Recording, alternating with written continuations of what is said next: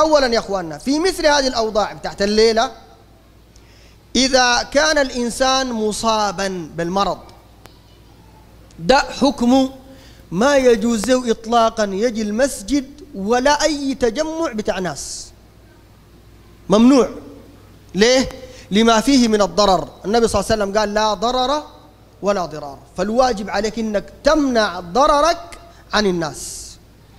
والمسجد إذا كان ممنوع الزول الأكل التوم ولا البصل ممنوع يدخل المسجد لأنه بيأذي المصلين ويأذي الملائكة.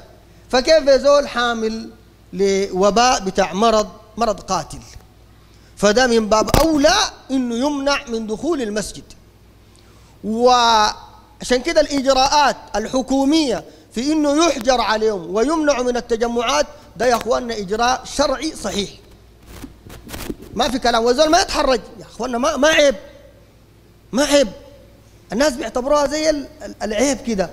كونه يقول لك أنا حجرت على نفسي أو ما أتحرك. لا ما عيب أصلا. طيب. اثنين الإنسان إذا كان ما هو مريض لكن خايف من وجود البلاء ده كونه يمشي المسجد ولا يمشي السوق ويلقط العدوى. قالوا في حالة الخوف الفقهاء قالوا أيضا يجوز للإنسان ترك الجماعة. أنت خايف على نفسك.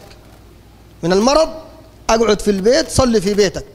ولو صليت في البيت يجوز لك إنك تصلي فردا براك أو تصلوا جماعة. من الناس اللي في البيت لو أنت وزوجتك صلوا الاثنين. لكن بس لو زوجتك ما تقيف معك في الصف. لو أولادك بيقيفوا معك في الصف طوالي. أما المرأة بتقيف ورا. حتى لو براكم. أنت وزوجتك بس. تصلي أنت قدام وهي في المصلاية وراك. فيجوز إنكم تعملوا الجماعة في البيت. لكن الجمعة لا. انتبهوا يا أخواننا. لأنه لو حصل عندنا انتشر البلاء وزاد والجمعة ذاتها ما قدرنا نجي ما بيجوز عقد الجمعة في البيت. الجمعة دي إلا في المسجد. يعني لو ما تمكنا نصلي الجمعة في المسجد معناه في البيت حنصلي ظهر ما بنصلي جمعة. لأن الجمعة لا تصلى في البيوت. طيب المسألة الثالثة يعني كون كل الناس يمتنع تماما من أداء الصلاة في المسجد. ودي مرتبطة بانتشار الوباء. لو زاد الانتشار وكثرت العدوى بعد ذاك تكون الفتوى الصحيحة إن المساجد تكتفي فقط بالأذان. يأذن المؤذن. وزي ما قلنا قبل بعد ما يقول أشهد أن محمد رسول الله يقول للناس صلوا في رحالكم صلوا في رحالكم مرتين وبعد طوالي الشهد ويهلل. كده يكون انتهى الأذان. الناس يصلوا في البيوت. هذه الفتوى يا إخواننا يعني مبناها بيكون على التقرير الطبي. التقرير الطبي. والتقرير الطبي يكون من إنسان مأمون يا إخواننا. إما تكون من الوزارة تقرير طبي من فريق من الأطباء أو حتى لو قرروا مجموعة من الأطباء لكن انتبه أطباء مأمونين في مهنتهم وفي دينهم.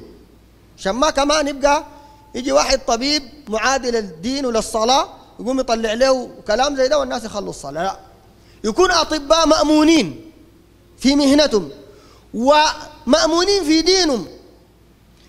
يصدر منهم القرار الطبي نتيجة البحث العلمي إنه يا أخي الوباء ده انتشر وممكن يعني المساجد تكون مكان لنقل العدوى. لأنه المساجد يا إخواننا يعني في نقل العدوى قالوا أخطر من المكاتب والأسواق. ليه؟ لأنه المساجد الناس بتتعامل مع الفرش مع بعض كلها فنقل العدوى أكبر يا إخواننا. لأنه السوق ده أنا ما ماشي. في النهاية العدوى بتاعت المرض ده قالوا ما تنتقل إلا بالعطاس أو باللمس. إنك تلمس مكان المريض يلمسه والصحيح يلمسه. والمساجد الناس بتتعامل مع فرش واحد يعني أنت سجدت في الفرش بيجي واحد بعديك واحد تاني حيسجد فيه. لمست مكان الباب حيجي بعديك واحد يلمسه. والفيروس ده بيعيش 12 ساعة في السطوح في السطح بتاع أي حاجة. بيعيش 12 ساعة برا. ودي حاجة غريبة يا إخواننا. إنه دائما الفيروسات بتكون ضعيفة برا. جسم الإنسان إلا لما تكون جوا داخل الجسم. فالمهم إنه يا إخواننا هذه الفتوى إذا قررت من جهة طبية بتكون الفتوى دي صحيحة وكون بعض الناس يعمل شنشنة ويعمل تغبيش إنه ده شغل سياسي وإنه غيره أخوان الكلام ده ما صح. حتى واحدين هاجموا بعض الدول اللي قررت إغلاق المساجد من الجمعة والجماعة بإنه ده منع للدين ومن أعظم ممن منع مساجد الله. وجابوا لهم كلام غريب جدا. يا أخواننا ده ما منع لمساجد الله. دي محافظة على صحة الناس. كيف منع لمساجد الله؟ هما المساجد دي مفتوحة. هل في يوم من الأيام في زول منع الصلاة؟ ما في زول ممنوع الصلاة.